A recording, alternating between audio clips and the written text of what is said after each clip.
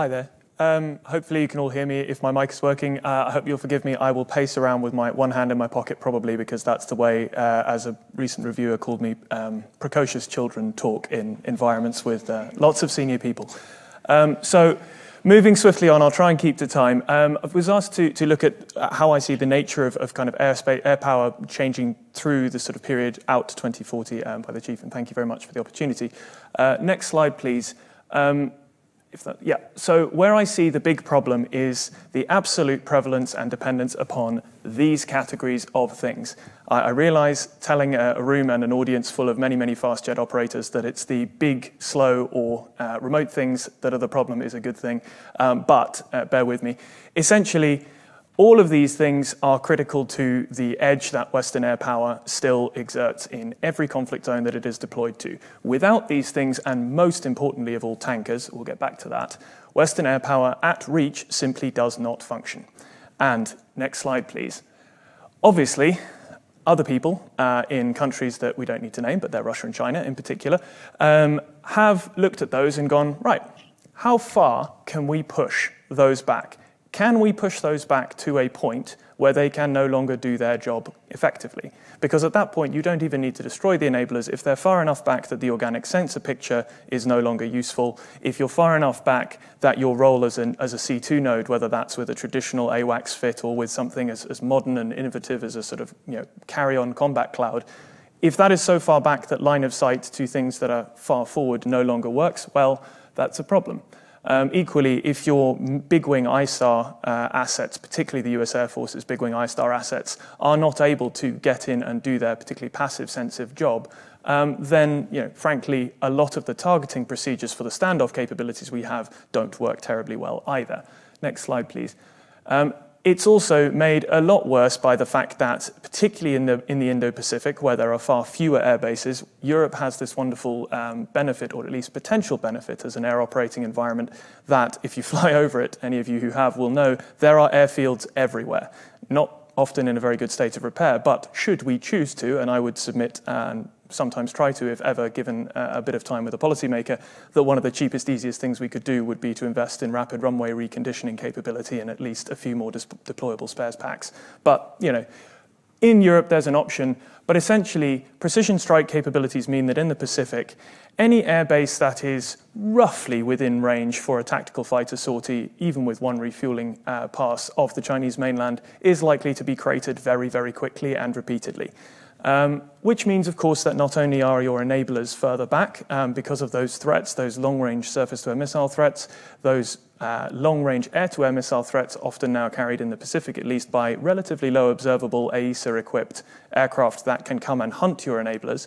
Um, those are also further back, but they're also more essential because your tactical fighters, especially in the Indo-Pacific, are not generally going to be able to operate within comfortable range of the area of operations.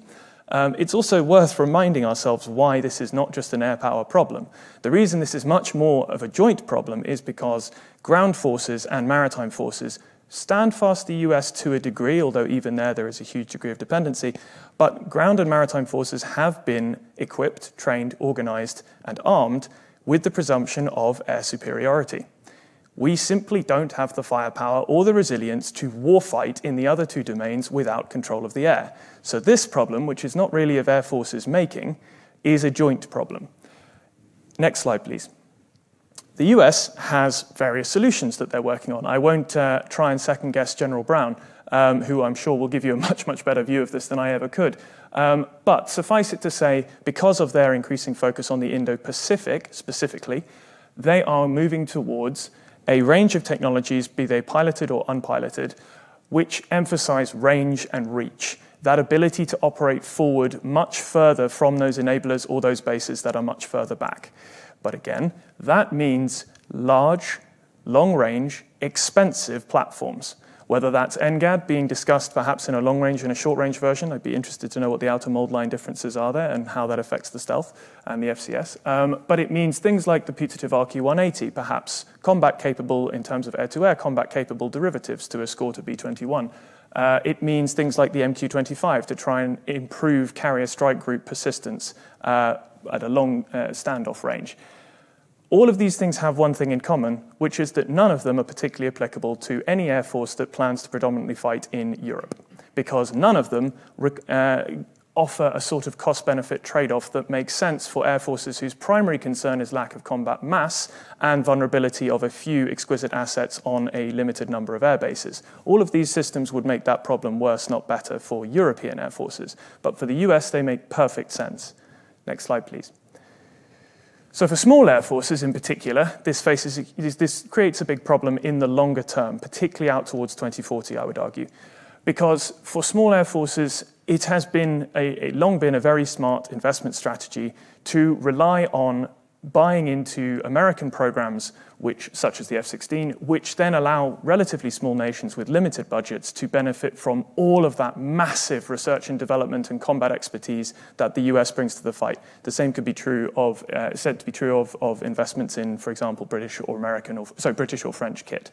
Um, if the Americans specifically are increasingly designing for the high end fight in the Indo Pacific, where do those smaller nations go? And I would argue there's two basic routes which you can, you can sort of characterize between the Gripen E and the, the F 35. And we saw with Switzerland what way most countries seem to be jumping at the moment. Uh, remains to be seen if that goes forward. But either you continue to buy into what the US is doing where it is most applicable within what's available, but you accept that mass necessarily continues to shrink, arguably to a point where your force structure is almost self defeating.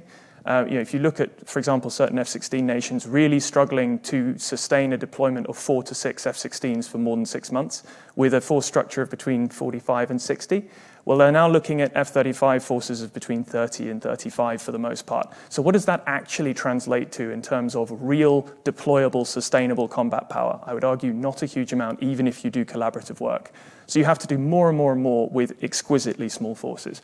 Or you go down the we're going to do things the Swedish way, we're going to try and design to our own defense requirements within Europe or elsewhere. Um, but that definitely implies a distinctly different ecosystem, both industrially, operationally, in terms of interoperable um, requirements, etc. Uh, and this is increasingly, I think, going to be true even for the medium-sized powers who are trying to do things through Tempest, through uh, SCAF, FCAS, whatever that happens to be. I would say we're being pushed a bit further down that top route, uh, and those next generation programs, exciting as they are, are probably a, a symptom of that. Next slide, please.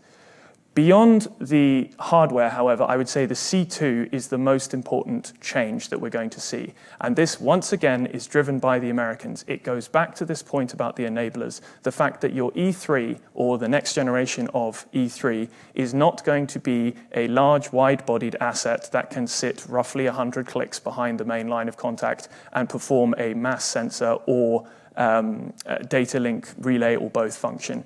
Instead, what the Americans are talking about through JADC2, through the ABMS program, is a you know, UAV and combat platform mounted self creating, self generating, self healing network that gives you Uber like sensor shooter matchings pretty much at, in real time it's an incredibly advanced undertaking. Uh, they've got a lot of stuff to build on, particularly through things like the cooperative engagement capabilities through NIFC-CA with the US Navy.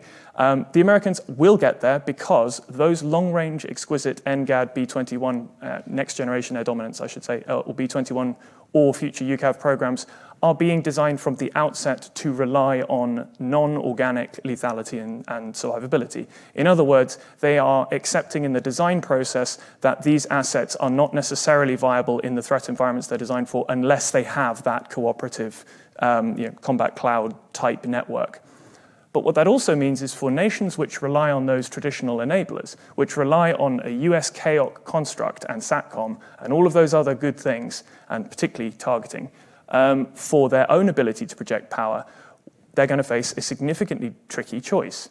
Because either we design and we build and we organize and we train and we exercise to fit into the new American way of doing things, which by the mid 2030s is going to be highly automated, incredibly rapid, and operate across the joint force, including strategic assets that are held at head of state level for us, things like offensive cyber, space based strategic capabilities. And most of our air forces, I would say, dare say all of them that aren't the US, are not set up to exercise, let alone deploy at that level. So either we deploy, we, we buy and optimize our platforms to fit into a construct which is A, incredibly expensive, from the perspective of the complexity and the, the should we say, certification and security processes involved, or we accept that we are no longer able to seamlessly plug into that American combat web of C2 and enablement functions, which would mean that the Europeans have to start doing it for themselves. Now, there's nothing wrong with that, but it does imply a heck of a lot of cost, a heck of a lot of complexity, and probably quite a long delivery timescale. So we probably have to start thinking about that bit now. As we've heard from, the, from Kaz and from the Minister, there's plenty of good groundwork to start with, but it can't just be a UK option. If the US is moving to a fundamentally different way of conducting air power, which I would personally contend that it is, based on the specific demands and threat nature of the Indo Pacific, we need to look in Europe at what we need to start doing ourselves and get ready to do ourselves because by 2035 to 2040, I don't think plugging straight into the US as the backbone is going to be viable anymore without big changes. Anyway, that's me. Thank you.